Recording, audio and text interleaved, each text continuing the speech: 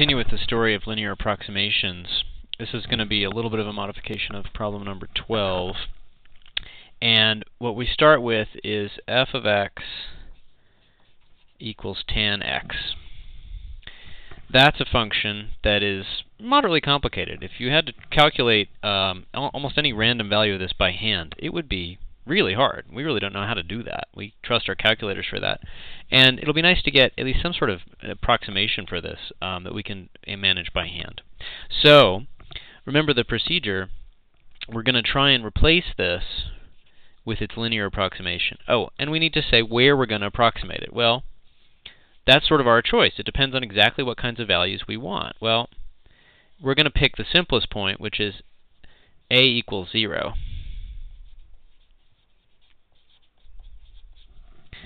And that's going to be definitely, we'll see it's a definitely a simple point, follows the criterion for um, the simple base point that we talked about in the previous video, and we're going to be able to get this linear approximation. So we've got our, our ingredients. We've got our function, we've got our base point, and then we're going to get our general formula, and then whatever x we care about that's near a, we would be able to plug that in. And we're going to then do something a little more interesting with this, testing how good this approximation is. So always the first thing to do is take the derivative, secant squared x, and then we're just going to plug in our special base point value into the function, and tan 0 is 0. The slope corresponding to angle 0 is 0. And secant squared of 0, well, that's 1 over cosine squared and so that's 1. And so we get a very simple approximation. Remember, our general formula is the linear approximation is whatever that uh, value is of the function at a plus whatever the derivative is times x minus a. And remember, this is a number always. This is a number always. This is a number. The only variable in here is x. And I just get 0 plus 1 times x minus 0 equals x. So there's our linear approximation. Or in other words, tan x is approximately equal to x itself. For x near 0, or another way to say that, is small x.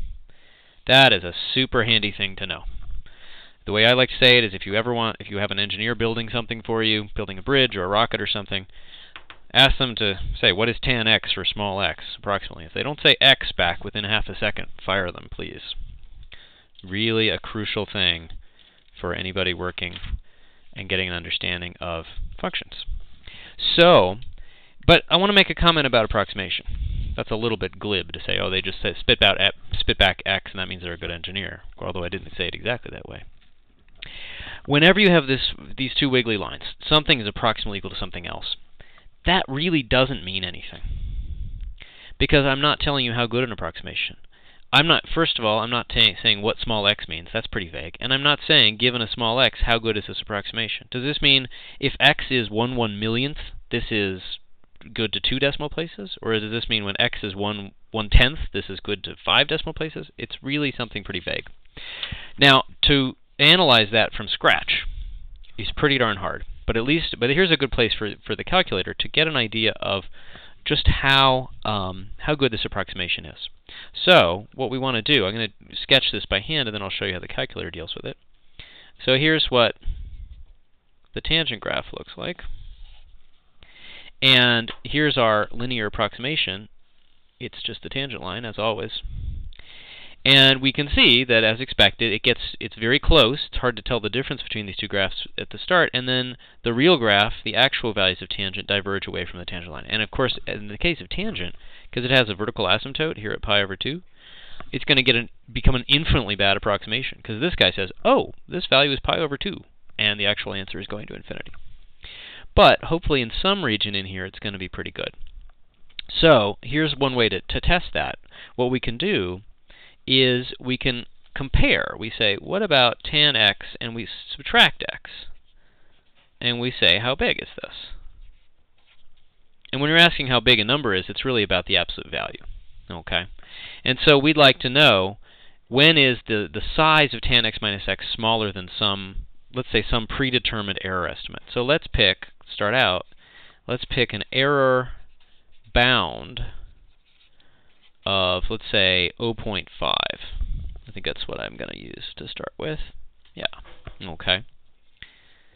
And so that means I'm going to allow tan x minus x to be up to and including 0.5 in size. So I want to know where that's satisfied. And that's not something we can solve analytically. But it's something we can look at the calculator for. Well, how do you deal with inequalities and absolute values? First of all, we could turn it into an equality.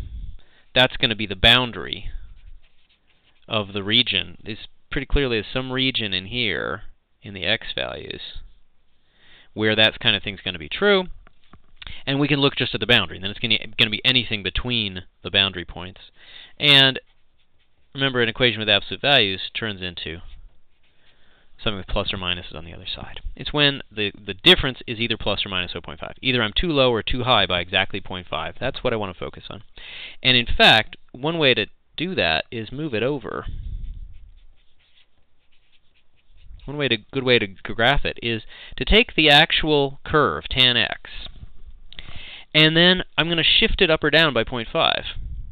And then I'm going to see where that intersects my uh, my tangent line. So I'm going to shift this guy up and down, and I'm looking for these two intersections. Because that's where I've deviated, my approximation is deviated by my error bound, which is this size. This is where it's too high. This is where it's the same amount too low. And so this distance here and this distance here, that's my 0.5, my error bound. And I'll do 0.5, and then if I have time, I'll do 0.1, which is actually what's asked for in the book not qualitatively different, though. Okay, let's see if we can do that on the calculator and make it show up on the picture. I think if it rescales the brightness, it works better. Okay. It's going to be a little dim, certainly. Okay. I think you can see that. We'll see what it looks like on YouTube, though. So right now I'm plotting tan x and x. And the window I've got is minus 1.5 to 1.5 and minus 2 to 2 in y that's a good window for the, the central part of tangent. And here's what the graph looks like. Let's see if you can see that. Yeah, it's looking okay.